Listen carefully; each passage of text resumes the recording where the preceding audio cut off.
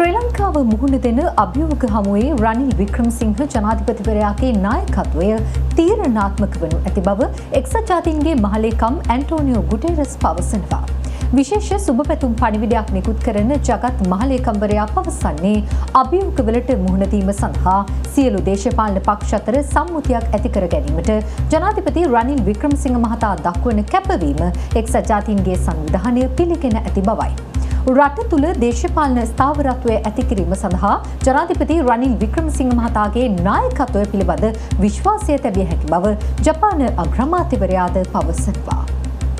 එක්සත් ජාතින්ගේ සංවිධානයේ මහලේකම් ඇන්ටෝනිය ගොටරෙස් ජනාධිපති රනිල් වික්‍රමසිංහ වෙත විශේෂ සුබපැතුම් පණිවිඩයක් නිකුත් කරමින් පවසන්නේ ශ්‍රී ලංකාව මුහුණදී සිටින වත්මන් අභියෝග ජය ගැනීමට හිතකර පරිසරයක් හා ස්ථාවරත්වයක් ගොඩනැගීම සඳහා ජනාධිපති රනිල් වික්‍රමසිංහගේ නායකත්වය තීරණාත්මක වනු ඇති බවයි.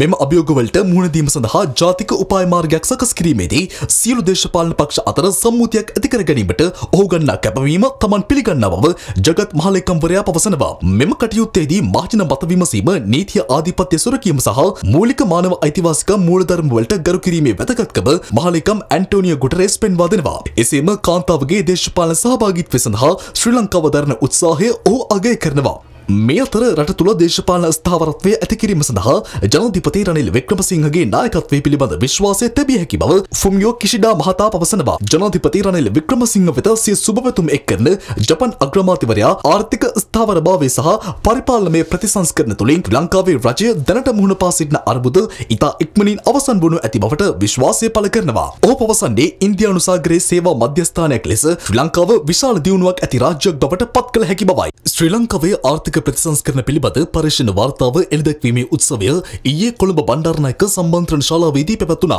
එම අවස්ථාවට එක්වමින් තායිලන්තයේ හිටපු මහ බැංකු ප්‍රධානී ආචාර්ය වීරතායි සන්ටි ප්‍රභු මහතා පවසා සිටියේ ජාත්‍යන්තර මාධ්‍ය වාර්තා කරන තරමේ දරුණු ආර්ථික අර්බුදයකට ශ්‍රී ලංකාව මුහුණ පා නොමැති බවයි.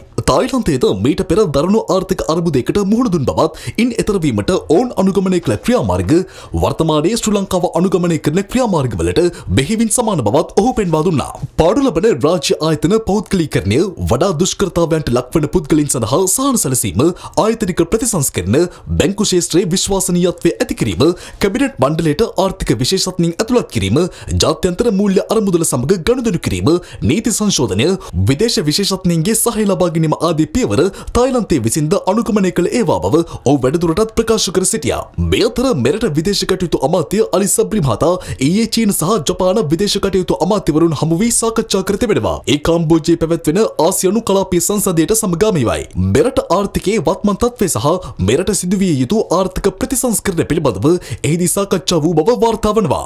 වර්තමානයේ ශ්‍රී ලංකාව මුහුණ දී සිටින ණය අර්බුදයෙන් ගොඩ ඒම සඳහා සහාය වන බව එහිදී චීන විදේශ අමාත්‍ය වෑංගී මහතා පවසා තිබෙනවා. සංවාදයට එක්වමින් ජපාන විදේශ කටයුතු අමාත්‍ය හයෂි යෝෂිමායා මහතා පවසා තිබෙන්නේ වසර 70ක කාලයක සිට පවතින ශ්‍රී ලංකා ජපාන මිත්‍රත්වය තවදුරටත් තහවුරු කිරීමට අවශ්‍ය පියවර ගන්නා බවයි.